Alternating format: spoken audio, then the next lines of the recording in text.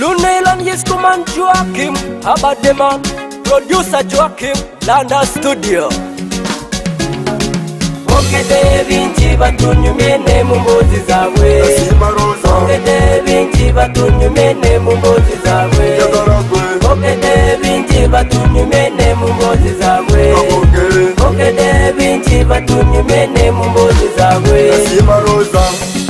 uliokwa mutima ngakwanzire kwe baba bosiabo nasombola elilomwa banene ebi busabo mukwano dali tongwe kakandu kona jagala kweweka bebi busabo mukwano jagala kweweka kiriza kuwase kolage abazade bange kiriza kuwase kolage mikwano jange okete ebinji batunyumene mumbozi zabwe nasimba rosa okete ebinji batunyumene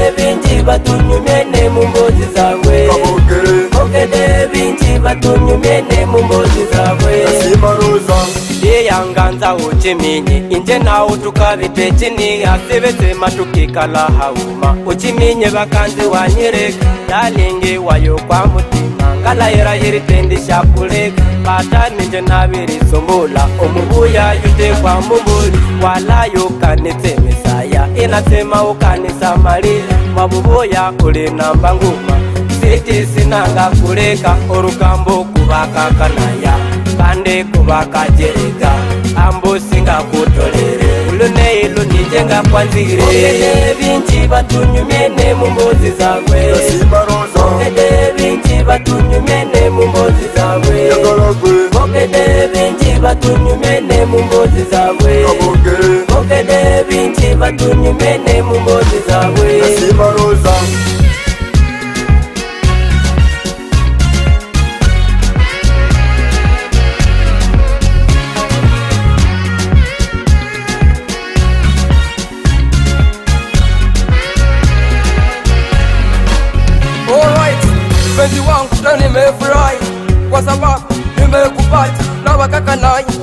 kanai mabebi, pesa si mapenzi, upendo ni zawadi kutoka kwa Mungu.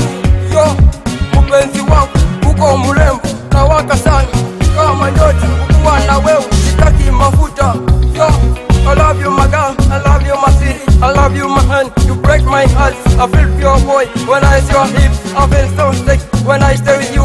I feel so nice when I touch you, I feel so better. Yo I have a demand.